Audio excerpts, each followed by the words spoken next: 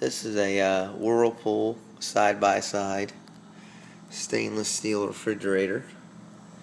And this is the water filter that is uh, so notorious for needing to be replaced on a regular basis.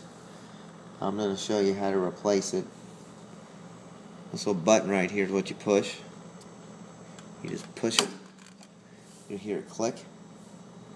And then you just pull this bottom part out and this is your water filter. It is a uh, usually purple in color.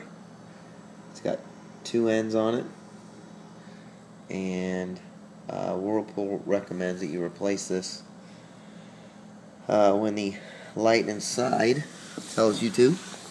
This is what the inside looks like. You can see where the two holes are in the back and where the retainer ring right here is on the right. So when you need to replace it, that's what it is. That's how you do it. It's real simple.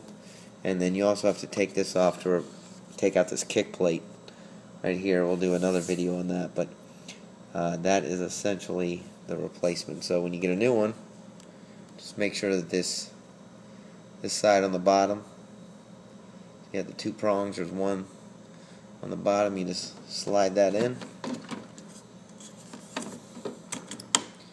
You'll feel it kind of line up.